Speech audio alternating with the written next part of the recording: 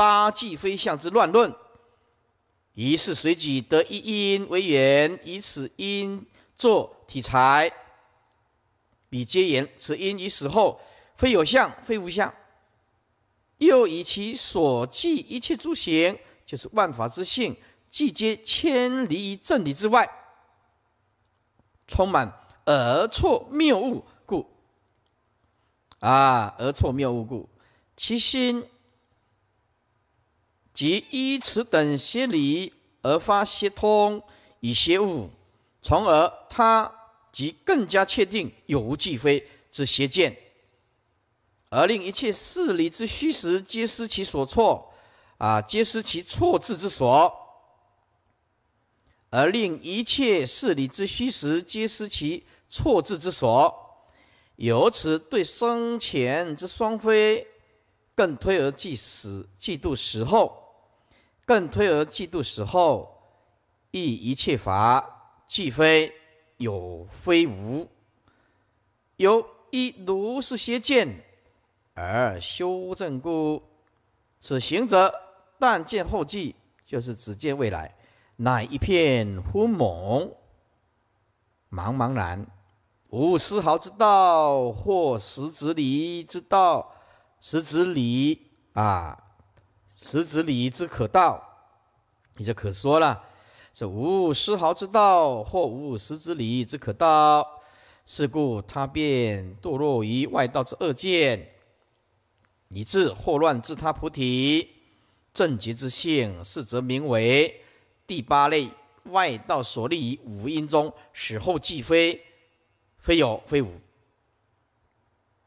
心谋所成之颠倒邪论。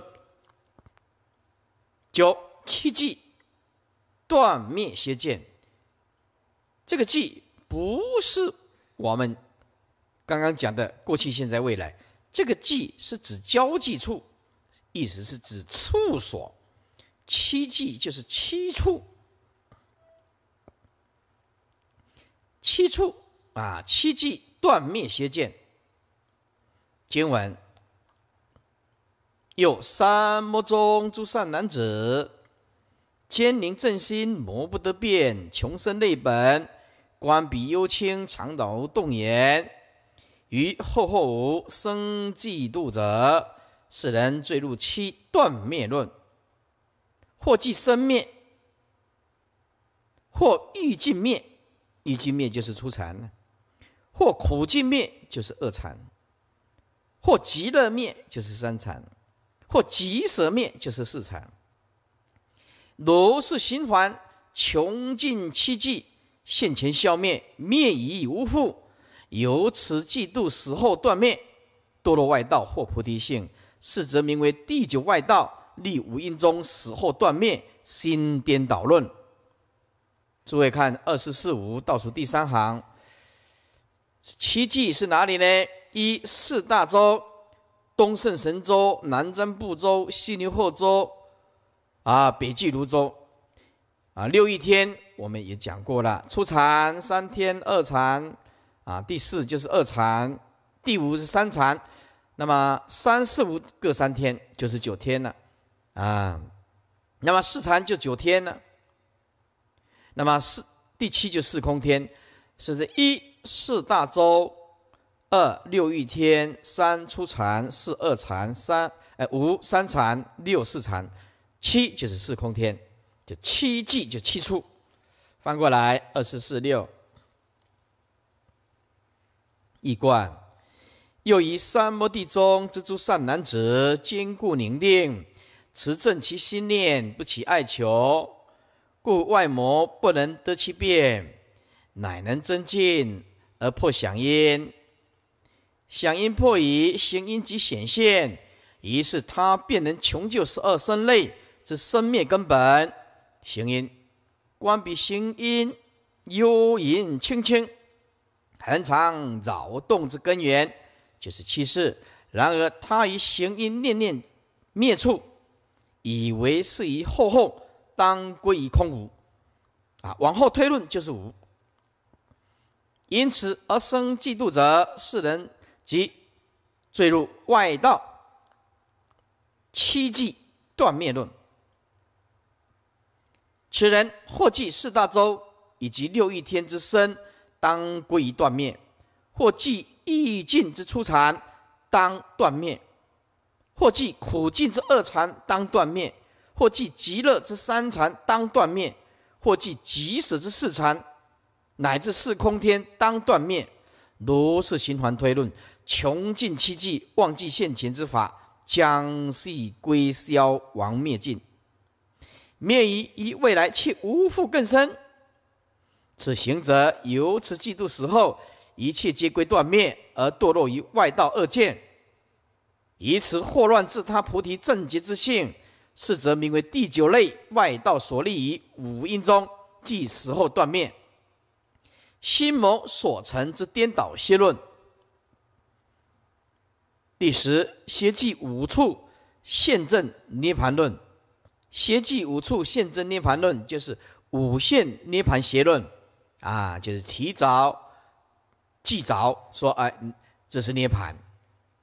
今晚又三目中诸善男子，坚宁正心，谋不得变。穷生内本，观彼幽清，长老动言，以后后有生嫉妒者，世人坠入五涅盘论，或以异界为正转一。关键严明，生爱慕故；或以初禅性无忧故；或以二禅心无苦故；或以三禅极业随故；或以四禅苦乐二亡，不受轮回生灭性故。迷有漏天，作无为劫。啊，这个就是重点。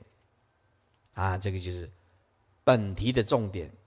第十啊，行因的十种阴谋就是迷有漏天。明明是烦恼生灭法，作无为解，以为是正德不生不不灭的啊无为如来的涅盘。五处安稳为圣境一，把有漏的五五处认为是无为不生不灭的境界，是五处安稳啊，而圣境一如是循环，五处究竟。由此嫉妒五现涅盘堕落外道或菩提性，是则名为第十外道立五阴中五现涅盘心颠倒论。注释：这个通通要看。与后后有生嫉妒者，是为观行因念念相续无间，而计其最终后后必有实果产生。且恒常不灭。五涅盘论，五处皆得究竟涅盘之邪论。五处是哪五处呢？一就是六欲天，以及色界的四禅天，就是初禅、二禅、三禅、四禅，这个五个地方，把它当做涅盘。其实这五个地方都是有漏生灭法，或以异界为正转一。异界是指六一天，转一为唯识法相的术语，所以这个《楞严经》跟唯识白法起信论有息息相关的思想。转就是转变，一就是所依，为转变下列的所依成为圣上的所依，如从原来所依的染法或烦恼法。转而意义净法，或者是菩提法或般若法，盖转依的含义，即与断正一词相近，又转至古德视为转舍转得，意思是说转转舍列法啊，就是转恶法染法，转变得圣法，是或善法或者净法，然须先转舍。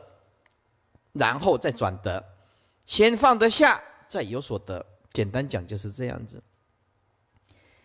你想拥有佛陀所有的财产吗？很简单，就是身心世界通通放下，你就拥有释迦牟尼佛的财产。啊，这个世间谁最富有嘞？啊，你说，哎呀，哪个的首富嘞？几千亿，是不是啊？哎，我说我最富有，为什么？我只要两个字：知足，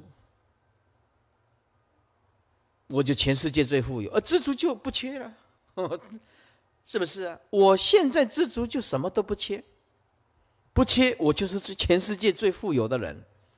诸位，你也可以当全世界最富有的人了，观知足啊，啊！所以你想拥有佛陀的财产吗？很简单，就是全部身心世界通通舍，你就拥有释迦牟尼佛所有的财产。不舍不能得到佛陀的财产，你舍不下嘛，舍不下烦恼嘛，啊！底下啊。然而，须先转舍，然后再转得。正如一断正，必须先断，然后再正。如先断烦恼，再证菩提。又为是邪所说的二转一果，也就是菩提果、涅盘果。以此二者为经由修圣道而转烦恼，转烦恼成菩提吗？转所知障变成涅盘吗？而后所得的最胜妙果。故此，二转一又称为所转得之果。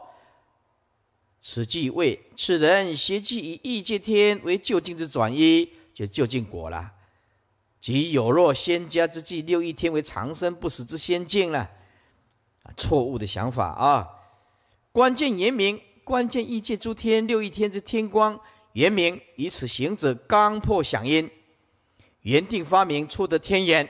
故得关键六一天，或以初禅性无忧故，初禅就是世界初禅天，因为初禅是离生喜乐，系出离于异界烦恼，欲界之苦恼不再逼迫，故他称之为无忧。此谓此行者，或以离欲界忧恼之初禅的境界，即为究竟涅盘。二四五零。或以二禅心无苦故，这个人或者是将二禅的定生喜乐，心中无苦的境界，即为究竟涅盘；或以三禅极悦随故，此人或将三禅的离喜妙乐及其喜悦相随不离，极悦不断的境界，即为究竟涅盘；或以四禅苦乐二王不受轮回生灭现故。苦乐二王，因为四禅系舍念清净，苦乐二念皆不生。此行者住于此境，便以为已超脱生死轮回，不再受生死苦，因而即四禅境界为究竟涅盘。以上皆是将有为有漏，有为就是生灭，有漏就是烦恼。那个漏是指烦恼，有为就是生灭，把生灭法。烦恼法的欲界以及色界天，即为无漏。无漏就是没有烦恼了，究竟之圣果。迷有漏天作无为解，迷有漏的欲界色界天，即为无漏无为的涅盘境界。无处安稳，安稳就这个稳跟这个稳是一样的。没有以此五处为安稳的究竟归宿，为圣境一，为以彼五处为最胜精进究竟之所依处。如是循环五处究竟，循环就是循环论证，推观为经由这样的循环论证而谬称此五处皆是究竟涅盘之处，此即是以染作境，还不知道说这还在三界内。五现涅盘，无就是五处，现就是现证，为此五处皆是现证涅盘处，心颠倒论，因为此人以染作境。以有漏作无漏，故是心颠倒。盖此心颠倒，系自心魔之所成。易观又以三摩地中之诸善男子，坚固宁正，持正其心，不起爱求，外魔不复能得其变，乃能增进而破响音。响音既破之后，行音即现前。因此，他便能一定中穷究十二生类之生灭根本行因。于是，此行者一定中观彼幽隐轻轻恒常扰动之根源气势，但是他与行因念念相续无间之相，即其后后，后后就是最终了，必定有实体存在，恒常不灭。因而生希望嫉妒者，世人即坠入外道所寄执之异界色界，五处皆是就近涅盘之邪论。其中有的行者或以异界六天作为正转一果，就是涅盘的基果啦。啊，转来转去还是在异界里面，这是由于他在破了响音之后，与原定发明所得的天眼关键异界诸天的天光延绵超日夜光，啊，天人不需要太阳，也不需要月亮啊，本身会发光呢。因而心生爱慕故，遂即比天为涅盘处，为涅盘界。有的行者或以出禅天之离生喜乐，性无欲界之忧苦故，遂即为究竟涅盘。啊，遂即为究竟涅盘界。或有行者以二禅天的定生喜乐境界，心中无苦逼切故。遂即为涅盘界，或有行者以三禅天的离苦妙乐境界，及其喜悦常相随不离故，遂即为涅盘。啊，遂即为涅盘界。或有行者以四禅天之舍念清净，得以舍受不苦不乐，苦乐二亡，便以为不再受轮回之生灭性，以证得不生灭性故。遂即四禅天为涅盘界，此五者皆是迷有漏有为，仍在生死的异界色界诸天，啊而不觉之妙作无为之涅盘界，妄以此五处为究竟安稳之最终归宿，而且邪记此意为最殊胜清净者，认为这个就是佛的地方，究竟之一处。罗氏循环论证推观，就是以此推比，以异界天。而推证出禅天，再以出禅推二禅等而妄言，这五个地方五处皆已达究竟涅盘之无上之果，由是嫉妒五处皆是现正涅盘处，彼诸天人得现受极灭之乐，不待将来无需更修，因而堕落于外道之恶见，也就学佛法变成了外道。以致祸乱自他菩提正觉之性，是则名为第十类外道所立于五阴中可得五种现正涅盘，乃心魔所成之颠倒恶论。第四结语，结语就是这十种行啊行因十种魔境，定中用心交互所成，都是啊在修定当中自心所产生的偏执。啊，断常空无啊，或者是有等等这些偏见，这定中用心交互所成，足令保护经文。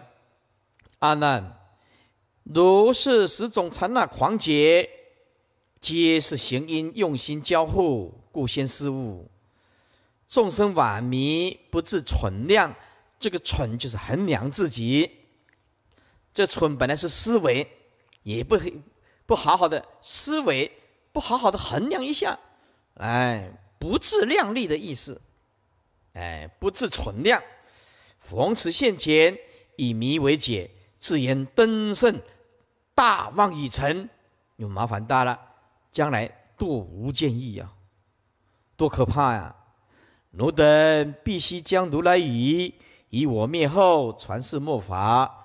偏令众生结了私意，无令心魔自起生念，因为这是机自心魔所偏激的种种啊偏见嘛。保持富护，消息邪见，教起身心，开解真意，以无上道不遭知其，勿令心奇得少为足。做大劫王清净标志，底下注解都要看，很重要。如是十种禅那狂劫，就是这十种以修习禅那时所起的狂劫。狂者因为这些魔境到最后来都变成为正言正，自言登圣，所以成为狂妄之徒。楞严正脉这么说。然通论十种狂解，意思就是行因所起的十种狂妄的境界，不出断见、常见、空见、有见，啊，只要加一个见，就是偏。不是断见就是常见，不是空见就是有见，总是有一个呃自见。且前面五种属于断，前面五种啊行音的前面五音是属于断见常见，而后面的五音啊行音的五音毛是属于空见还有有见。又中途狂禅亦常有啊类此情形者，中途就是汉地呀。无令心魔自起生孽，孽就是罪孽。心魔以行因识魔境，皆是行者自心之心魔造作所起，非为外魔所作。为什么啊？因为看得不究竟，自己心啊不是佛，误认为他已经悟了究竟，所以就在这个啊不不是最圆满的地方，哎，误认为是最究竟，就开始起种种的偏见。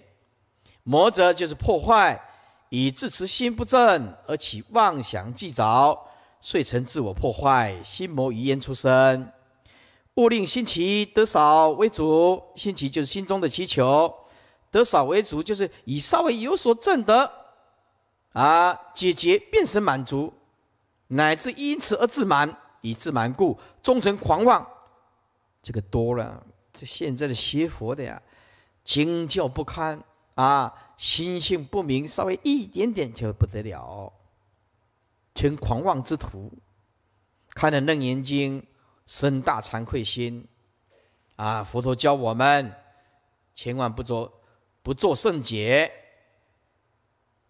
而众生之所以会得少为主的原因，都是因为在出发心的时候没有依于正信而发大心。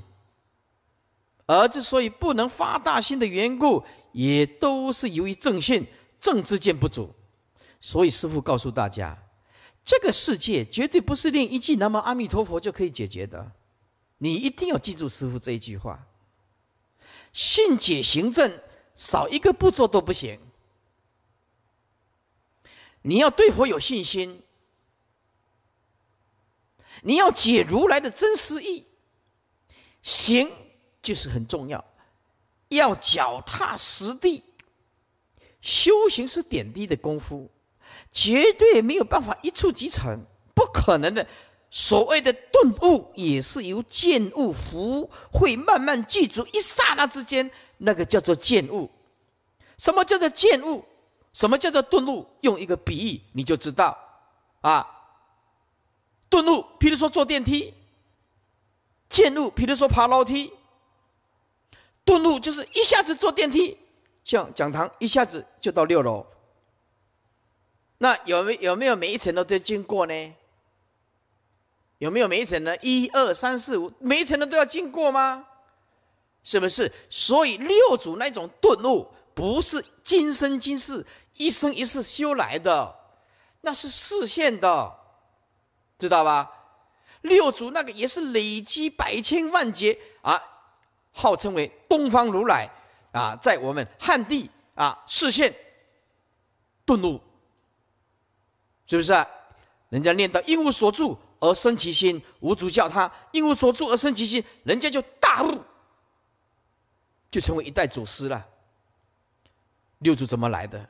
是累积沉淀劫，慢慢慢慢慢慢慢慢修学，然后在今生今世来汉朝啊，那汉帝。出生，然后一刹那之间听到五祖开示，恍然大悟。你以为大家都是六祖啊？修行是点滴功夫，所以不可以恶小而为之，不可以善小而不为。你不要认为啊，那一点点恶，呃，可以去做；你不要认为说那一点点善不要去做。所以这个福德因缘要记住，《弥陀经》里面那一句话一句都没少。不可以少善根福德因缘得生彼国。你看经典要很看清的很清楚，少善根不能往生，少福德不能往生，少因缘不能往生。诸位每天都在诵弥陀经，为何不解其意呢？那么就是多善根、多福德、多因缘，可以往生极乐世界喽。怎么是个多善根呢？就是要听经闻法，要解行并重，清净如一，是不是？要生信，要发菩提心，提起正念，修学佛法就是这八个字。发菩提心，提起正念，二六十中通通用这八个字。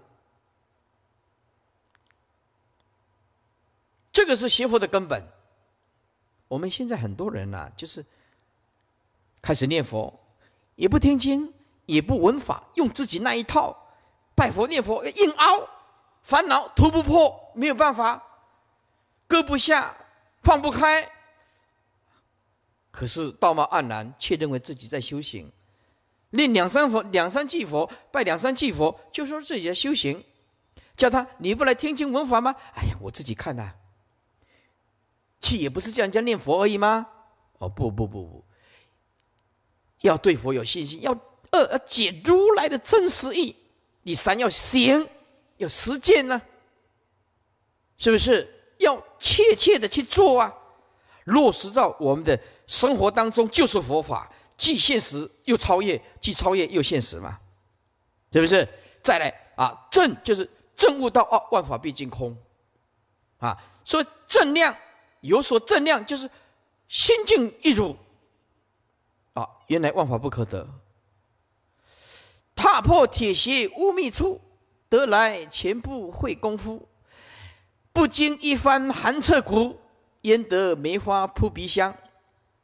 我们虽然说现前一念当下本自具足，但是没有经过种种的痛苦波折，你体会不出来。你体会不出来，没有经过初世间大悟的大善之事，单凭你个人打死悟不出来。虽然就在你的眼前，可是你就不悟。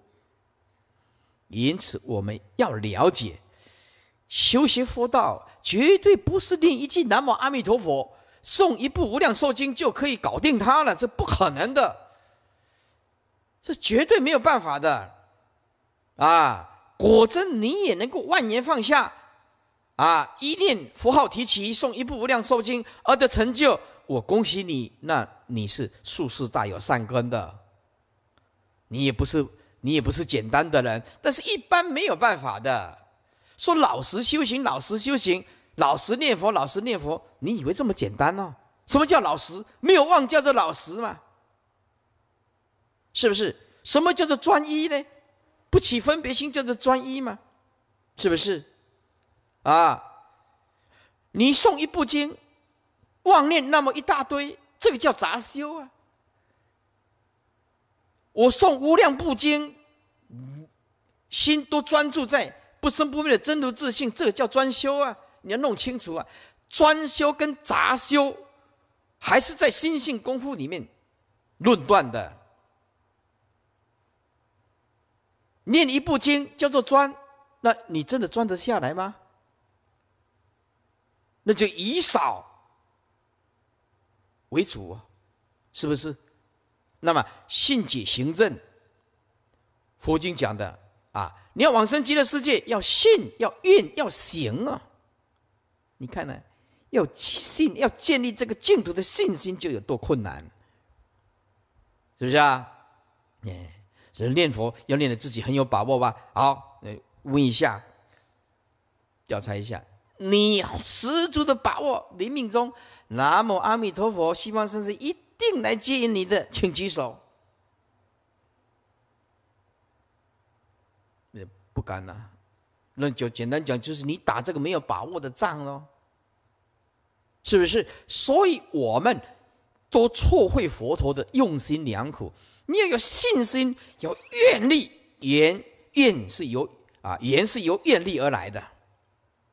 法院是不是啊？我要往生极乐世界，久留不完，发这个大愿，要行啊，信愿行啊，行就是要解呀，要解如来真实意呀，要听经，要闻法呀，要念佛，是不是？这个一点都不能少的啊！所以我们末法时期呀，很没福报，碰到了二智士，就跟他讲：，呃，本来要跑来讲堂听经，哎呀，不用去了吧？你去了不是一样？回来要念南无阿弥陀佛，哎，是没有错。来讲堂念南无阿弥陀佛，回去家也要念南无阿弥陀佛。可是你来听经闻法，彻底的釜底抽薪的解决烦恼，是不是？回去念呢？你来听经闻法，念的这句南无阿弥陀佛，跟你不听经不闻法不解如来的真实意，念的那一句阿弥陀佛，力道是完全不同，力道完全不同。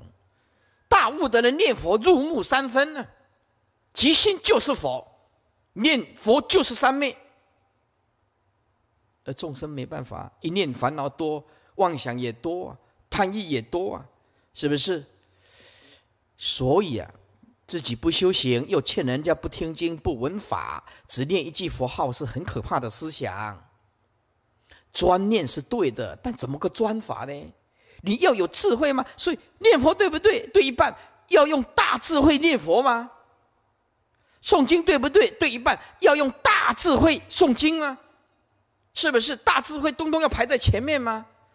你念佛念到刀枪不入，风雨都打不进去，三昧就成就啊！这个才是功夫吧。